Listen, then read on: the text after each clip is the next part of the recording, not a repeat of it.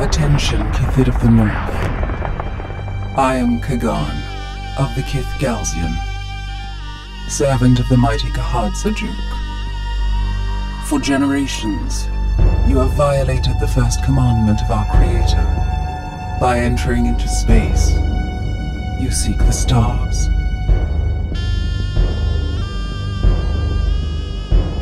Now you invade our lands for the second time. Diplomacy has failed.